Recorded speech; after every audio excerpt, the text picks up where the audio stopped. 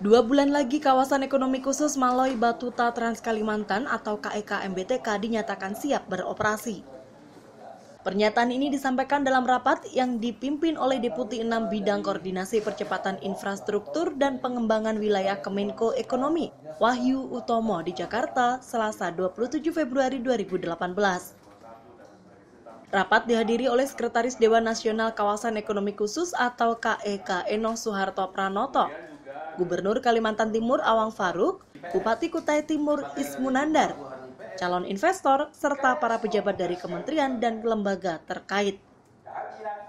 Sebelumnya, Gubernur Kalimantan Timur telah mengajukan perpanjangan waktu pembangunan KEK MBTK selama satu tahun dari batas waktu yang sebelumnya ditetapkan, yakni Oktober 2017. Namun, rencana tersebut batal diajukan karena melihat kondisi di lapangan yang memungkinkan KEK MBTK siap beroperasi dua bulan lagi. Jadi dua bulan itu kalau boleh Pak kita di sini sepakat itu adalah waktu tenggat waktu kita untuk mengupayakan agar supaya KEK yang katakanlah tahap satu ini beroperasi dalam waktu dua bulan itu uh, kalau boleh targetnya seperti itu. Ya artinya yang tadi beberapa hal yang disampaikan oleh Pak Eno uh, belum lengkap. Ini kita upayakan bisa dilengkapi selama waktu dengan waktu dua bulan.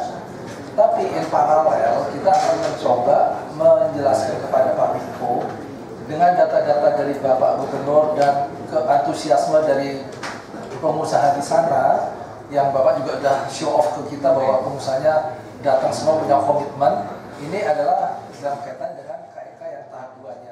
dengan KK MBTK dinyatakan siap beroperasi dua bulan lagi lantaran telah memenuhi tiga syarat kelayakan berdasarkan pasal 12 ayat 1 Undang-Undang Nomor 39 Garing 2009 tentang KEK yang meliputi kesiapan infrastruktur, memiliki kelembagaan dan SDM, juga perangkat pengendalian administrasi. Hal ini disampaikan oleh Sekretaris Dewan Nasional KEK Eno Soeharto Pranoto yang secara berkala melakukan monitoring dan evaluasi terhadap perkembangan KEK MBTK. Sertifikasi lahannya yang belum selesai, itu uh, proses mengenai hak pengelolaannya. Ini juga sudah berlarut dan uh, tentunya ini perlu ada suatu upaya-upaya khusus dalam kesempatan ini. Kemudian yang kedua yang dengan infrastruktur kawasan. Nah ini juga eh, sebagian sudah diselesaikan, tapi sebagian lagi belum eh, diselesaikan. Itu pertama adalah masalah listrik, kemudian sistem air limbah, dan juga pintu gerbang eh, serta batas batas eh, atasnya. Ini juga masih eh, selesai. Kemudian fasilitas kawasan ini terkait dengan masalah fasilitas sistem pengelolaan persampahan. Selain itu juga terkait dengan masalah aspek kelembagaan. Aspek kelembagaan ini secara keseluruhan sudah diselesaikan dari tidak Dewan Kawasan, Sekretariat, Administrator, dan Badan Usaha.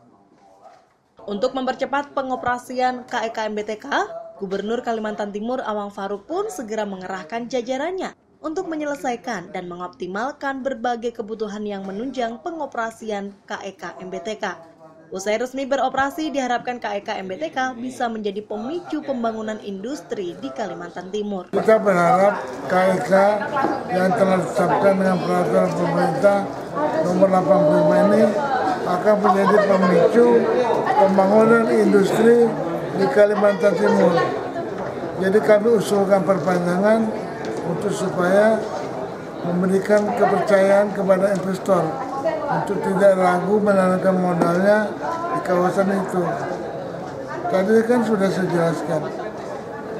Yang penting PP itu di samping perpanjangan juga memberikan kewenangan di dalam penyederhanaan perizinan seperti kebiasaan klik yang ada di BKPM itu dituangkan di dalam PP jadi tidak berbelit-belit.